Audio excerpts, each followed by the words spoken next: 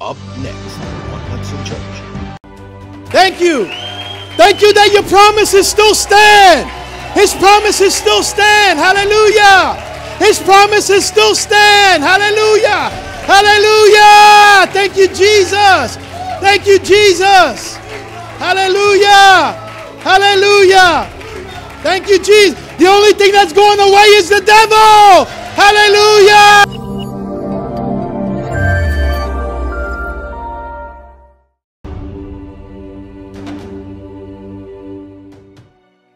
Amen. We want to continue to talk about, amen, a new order has come. And it's interesting, amen, because a new order has come. And it came over 2,000 years ago, amen, when Jesus came and was walking on the earth. Jesus is the new order, amen. And when he re- resurrected from the dead, we became the new order. We became the new class of people, amen, in Jesus' name. And unfortunately, a lot of Christians don't realize and don't know, amen, that they're new creations in Christ Jesus. Amen. That, that sin doesn't have dominion over them any longer. Amen. That they're new creations in Christ Jesus. Amen. And so that's why God wants us, amen, to be able to continue, amen, not only to teach the word of God, amen, but walk in the word of God. Amen. Be doers of the word, be believing believers. Amen. Because there's a lot of unbelieving believers. Amen. And it's just not, you know, people say, I'm a believer. No, I'm a believing believer. Amen. Because that's what Christ has called us to be. Believing believers manifest and demonstrate, amen, the Christ in them in Jesus' mighty name. So, again, we want to talk about let go of the ancient man. Some of us are still holding on to that ancient man. I want you to go with me over to Galatians chapter 1. Amen. Galatians chapter 1.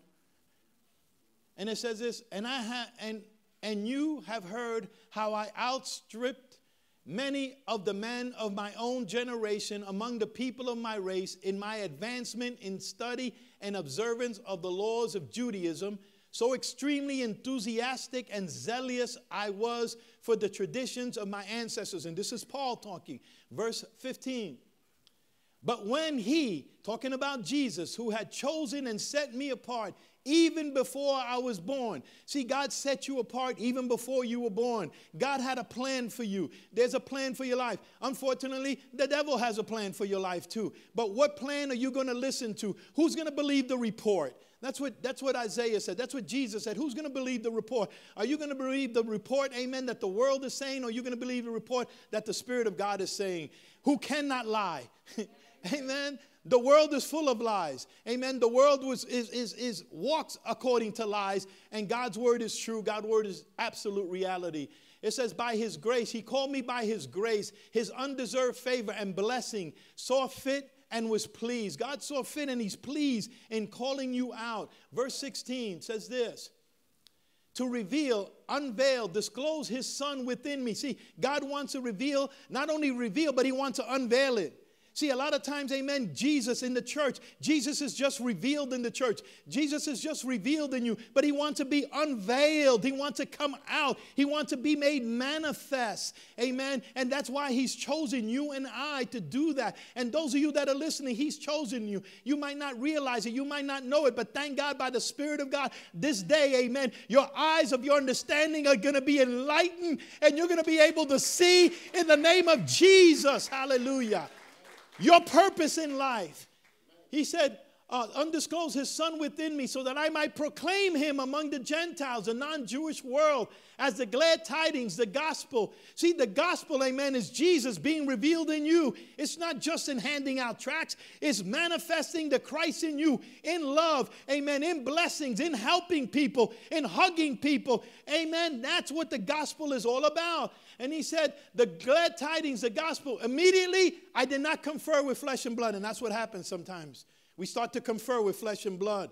Where flesh and blood didn't reveal to you who you are. It comes by the Spirit of God. Only the Spirit of God can reveal to you who the Christ is. Amen. So when we get that, let's stay with that. Let's stay with the Spirit of God. Let's not confer. Well, what do you, well, what do you think? And we ask, you know, Brother Squat Doodley, what does he think? Oh, we ask Sister Big Mouth, what does she think? Amen. Well, why not confer, amen, with the person who revealed to you who you are. Amen? And that's the Holy Ghost, just in case you didn't know it. It says, immediately I did not confer with flesh and blood. I did, did not consult or counsel with any frail human being or communicate with anyone. Amen. Verse 17. Nor did I even go up to Jerusalem to those who were apostles, special, special messengers of Christ before I was. But I went away and retired into Arabia, and afterwards I came back again to Damascus. See, sometimes you need to get away and you need to get away alone. Amen. Yes, it's nice. I thank God for the fivefold ministry gifts, but you know what? Amen. The Holy Ghost, amen, was the one who called those five people, those people, the fivefold ministry, amen, into, amen, into the and into the church, amen. But the Holy Spirit can let you know things, amen, that they don't know. Because the Holy Spirit knows what you're called to do. Amen. And sometimes we're doing what somebody else is, we're watching and seeing what somebody else is doing, amen. And when you do that, you're only doing and having and operating in secondhand knowledge instead of in revealed knowledge. And that's what Paul said. I didn't go, hey, these people walked with Jesus, but you know what? I received revelation of who Jesus was. look, Paul said, I was a man caught up into heaven. I can't speak of all those things, but it didn't mean he wasn't operating in all those things. He saw who we are, amen, more so, amen, than the disciples saw because they just saw the physical Jesus. He saw the resurrected Jesus. He was able to see who he was, not who Jesus was, but who he was because of Jesus. And that's what he wants us to experience that resurrection life. That's what changes things in Jesus' name. Glory to God. Hallelujah. Go with me over to Ephesians chapter 4. Ephesians chapter 4. I thank God my brother, amen, uh, Minister Nadid, he ministered this, you know, in Spanish, and it says, So with the wisdom given to me from the Lord, I say, you should not live like the unbelievers around you who walk in their empty dis- delusions. Amen. They're delusional. Amen. And if you hang around with them, you're going to become delusional. Verse 18. Their corrupt logic. Wow, I must have read 18 really fast. Let's go, let's go back. That Holy Ghost is something else. He's real quick. Sorry, Holy Ghost, I'm gonna catch up. All right?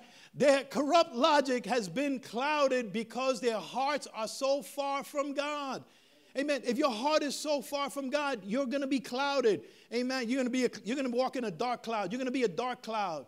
Amen. It says their blinded understanding and deep-seated moral darkness keeps them from the true knowledge of God.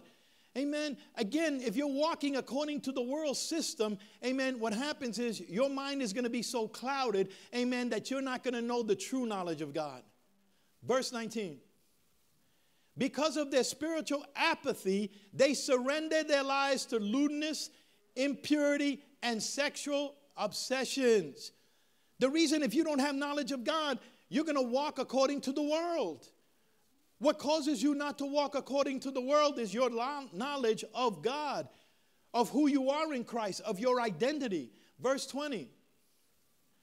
But this is not the way of life that Christ has unfolded within you. Christ has unfolded and put something in you, and you just got to look in. It had someone said this, amen, that to look outside is to dream, and to look within is to awaken. And that's what we need to do. We need to awaken to who we are in Christ. Verse 21. If you have really, really, if you have really experienced the anointed one and heard his truth, it will be seen in your life. hey, if you can't see it, amen, then it's because he hasn't been revealed to you. You got to come out of from behind the closet. You need to come out of the rocks. Amen.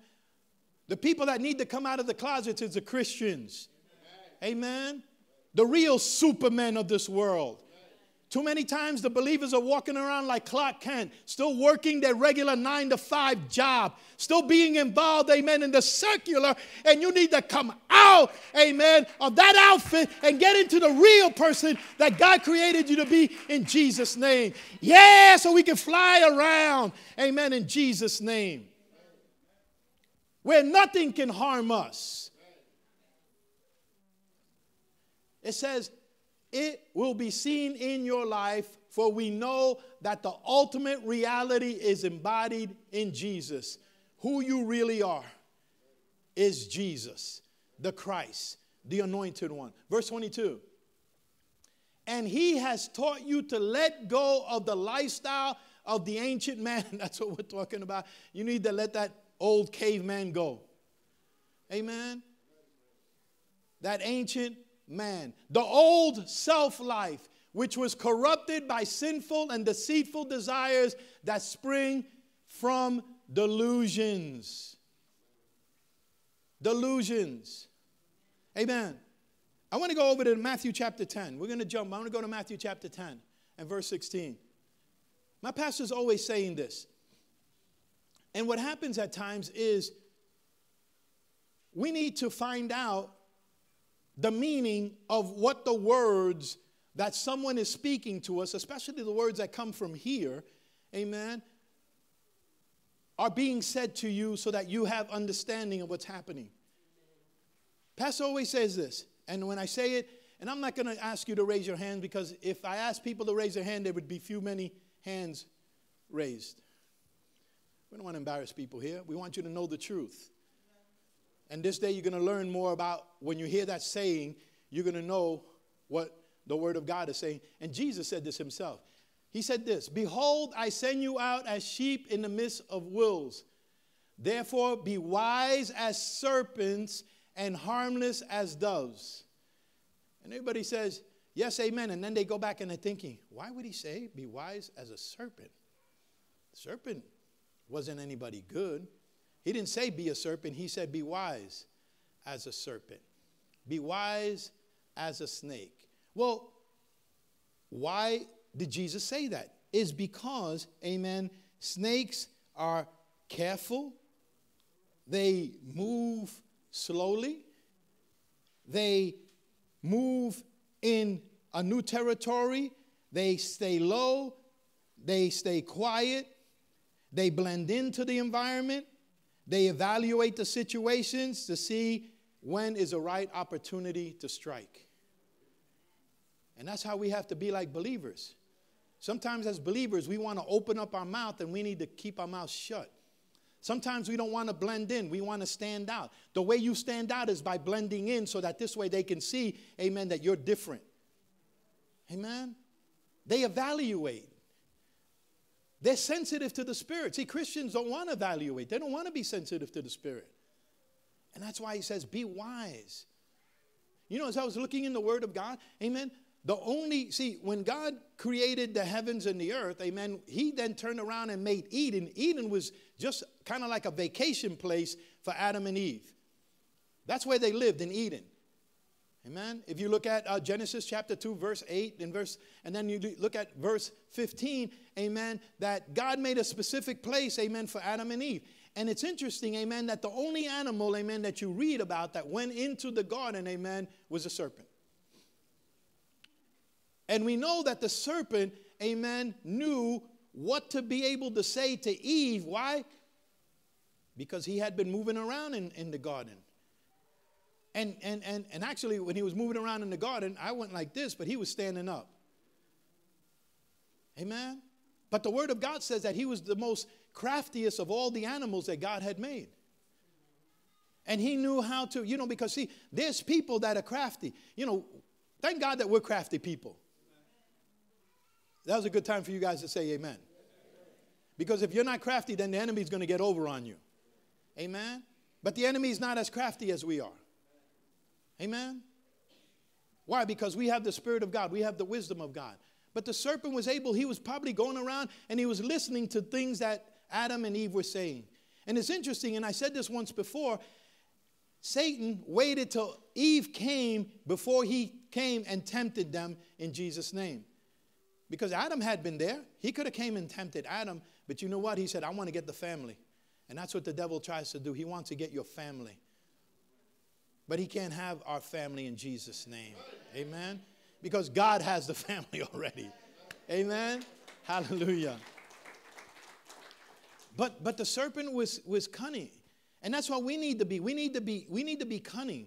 We need to know. We need to be crafty. We need to know how to walk in this world. Amen. The Word of God says we're in this world, but not of this world. But we need to walk, you know what I mean? That according to that, we're not in the world so that we the world doesn't affect us, but we're affecting the world in Jesus' name. Amen. Look at um, look at Timothy chapter 2. 2 Timothy chapter 2 and verse 1. You know, um, Church TV app brings you live services direct to your smartphone, smart TV, and much more. You'll also get special announcements, streaming messages, and exclusive content 24 hours a day right in the app. Experience unlimited streaming through streaming platforms absolutely free. Visit your app store or download the Hudson Church app through PushPay. For more information, go to facebook.com forward slash the Hudson Church.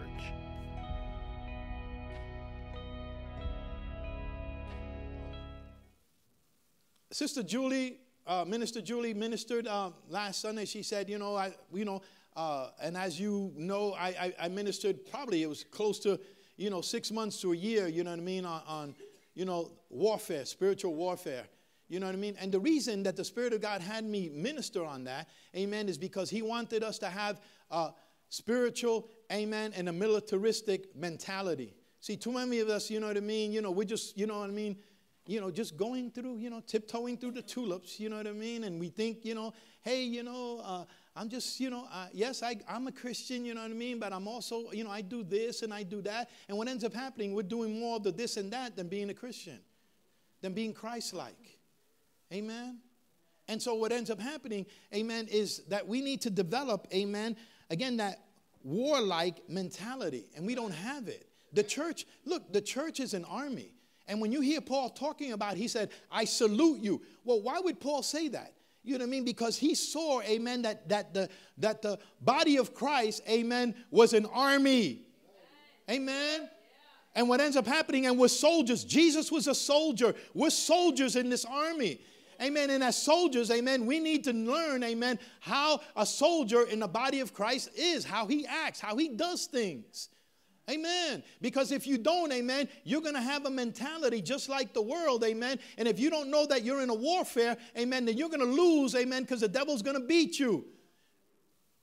We're just not passing through here, amen, you know, to uh, accomplish, you know, all those things, you know, to be the, you know, the, the, the greatest lawyer, the greatest doctor. Thank God that we can do that, amen. But that's not what God called you to be. I'm the greatest developer. Yes, and you know what? Then use that development that God has given that ability to develop the body of Christ in the name of Jesus. Amen.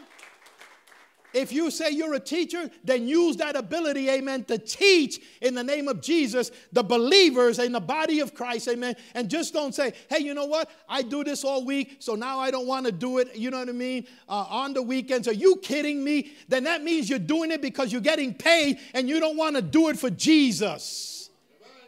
Amen. That talent that he gave you is to be used in the body of Christ for the kingdom of God. Amen. And if you get tired, amen, it's because you're leaning on your own understanding, amen, because it says that the joy of the Lord is your strength in Jesus' name. You know, we, we, we, we need to make, you know, get back, amen, and, and focus, amen, on what we were called to do. I mean, you know, if, if oh God, if we were, you know what I mean, in, in the early church, amen, some of us would already defected because the pressure that was put on them, amen, the things that they had to endure, amen, we probably would have said, nah, man, that's a, that's a little too much. Hey, we ask people to come to two services, we ask them to come to intercessory prayer, amen. And it's like, I don't know, I need to sleep a little longer. Yeah, and as long as you're sleeping, amen, the devil's just working all over you. No, you you you you wouldn't have made you wouldn't have made it. You would have quit. Amen. You would have quit. Because the way, amen, that the soldier is, amen, a soldier knows, amen, he's been called to battle, he's been called to warfare. Amen. Not to take vacations, and I'm not against taking vacation, amen, but people's lives are a vacation. Amen. And we, we, we need to start zeroing in, amen, on what God has called us to do because we need to wrap this thing up. And, and, you know, it's not, oh, I'm waiting on God. God's waiting on us. Amen. For the enemy to may, be made, you know, our footstool. He is already, amen, but to be made, amen, so that he's under the church. He said he's coming back for a glorious church, not a weak church, not a weak church that say, Come quickly, Jesus, so you don't know, oh, you don't know what I'm going through. Oh, stop your sniveling.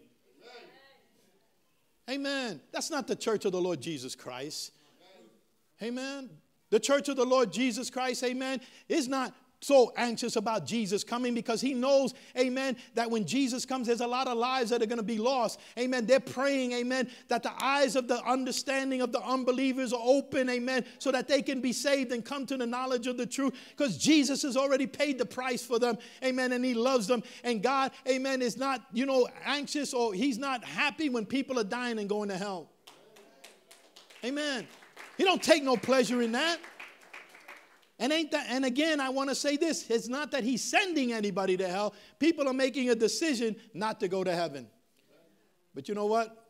By the time we end this, amen, you're going to have an opportunity, amen, to make a choice, amen, to go where God created you to go, amen, and that's to heaven because his word says that hell was created for his for Satan and his angels. It wasn't created for us. But you know what? If you want to play follow the leader, if your leader is Satan, if Satan is your Lord, you're going to go where he's going. And I guarantee you, and I'll let you know, amen. And some people say, well, I don't believe in hell. You can believe that you don't believe in hell all you want, but you know what? Hell is a real place. And without Jesus, you're going to you're going to hit head first. Amen, in Jesus' name. But you don't have to. You don't have. That's a good news.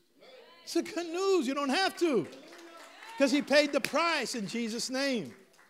Hallelujah. So again, so, my son, throw yourself into this work for Christ. Amen. And, and, and it's kind of like this is my son, you know, this is like a, an endearment. Paul had this love for Timothy, and he said, Timothy, throw yourself into the work of Christ. Verse 2 Pass on what you heard from me. The whole congregation saying, Amen. He said to reliable leaders who are competent to teach others. Reliable leaders. Another translation says faithful leaders. Amen. Did you notice he didn't say qualified leaders? Not everybody that's qualified is faithful.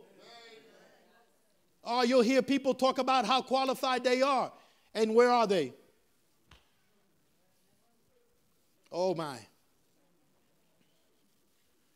No, again, faithful people amen, competent people that are going to what? Teach others, amen, teach others how to be faithful because that's what God wants. You know, God can't teach people to be faithful. That has to come out of you. Amen. And God wants you, you know what I mean? Again, he says that reliable people, faithful people, Timothy, you know what? Timothy was, was a little scared and a little nervous. You know why? Because they had thrown Paul in prison, amen, and then they killed Paul, they crucified Paul. Amen. They beheaded Paul.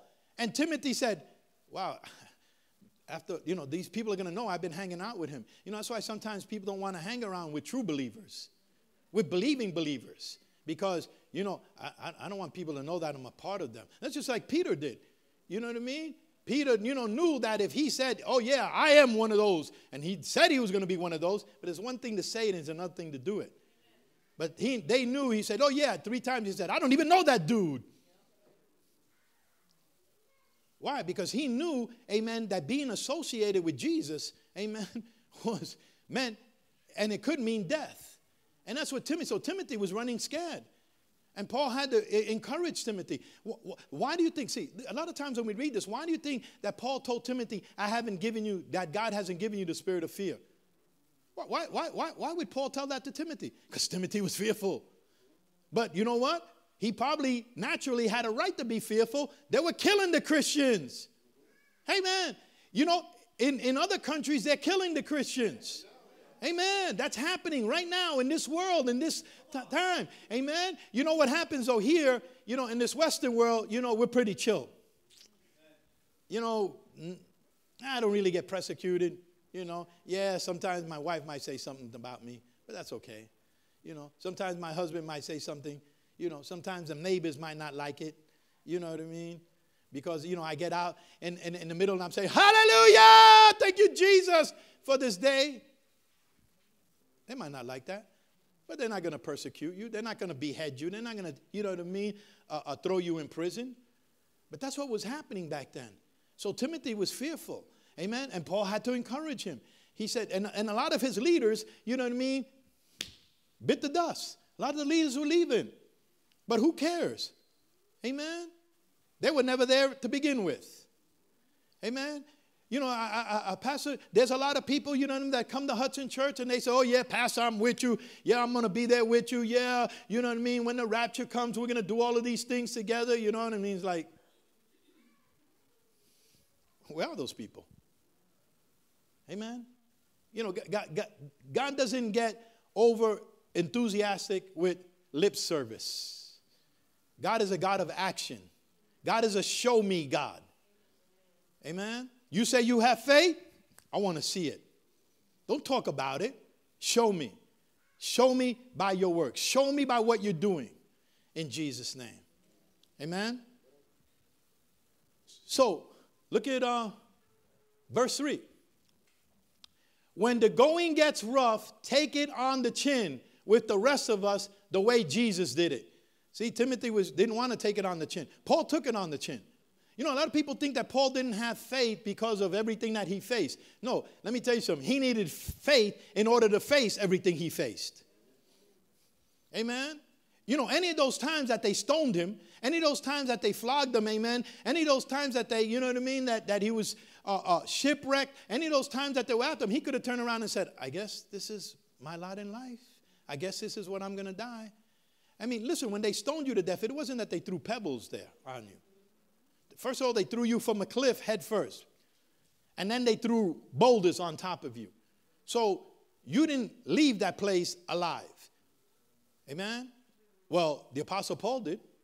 Amen? You know why? You know why? Because he said, I'm not done yet. Just shook off his clothes.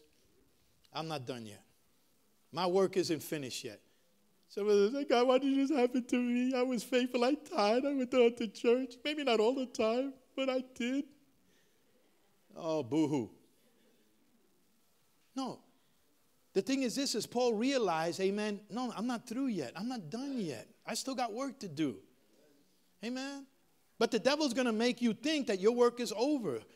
And he'll put, you know what I mean? Look, there's, there's people in COVID. Look, COVID came, COVID hit a lot of us. Amen. But you know what? We're still here. You know why? Because COVID isn't greater than the Jesus and the Christ in us in Jesus' name. Amen.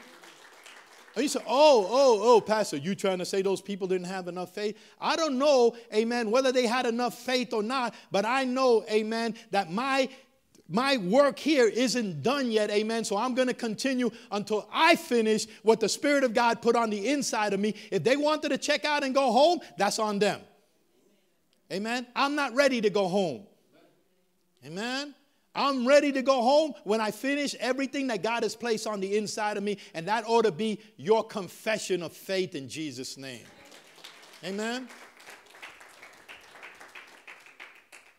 Look at um, verse, uh, verse 4. A soldier on duty doesn't get caught up in making deals at the marketplace. He concentrates on carrying out orders. Amen. What happens is that we want to deal in the marketplace. And again, relationships. We need to watch relationships. Amen. You know what ends up happening? People said, oh, you know what happens with relationships? The reason that they go wrong is because people get too close. No, that's not the reason why. The reason that you get into bad relationships, amen, is you, because you get into the wrong relationships. You don't allow the Holy Spirit to tell you who you need to relate to and who you need to spend time with. You just make the decision on your own. Well, that person seems really nice. Yeah, but is that a good person, amen, for you to have a good relationship with? Oh, this, this person dresses nice. He looks like he, okay. Look, okay ain't good enough. And that's sometimes what, how we get. And that's one of the things, amen, that, that get us caught up, amen. And, and, and now what happens is instead of us, amen, being in the service of what Christ has called us into, we can't because we're caught up with things in the world. We're entangled with the things in the world. Amen. And God doesn't want us to be entangled with the things of the world, with the civilian life. Now, there's certain things that we need to take care of in the world. But the most important thing is fulfilling the calling that God has called us into in Jesus' name. Amen. I just want to say this in close. He who desires, amen, peace should be prepared for war. Because we're in a warfare in Jesus' name. Amen. Thank you, Jesus. Well, if you received anything, give glory to God as always.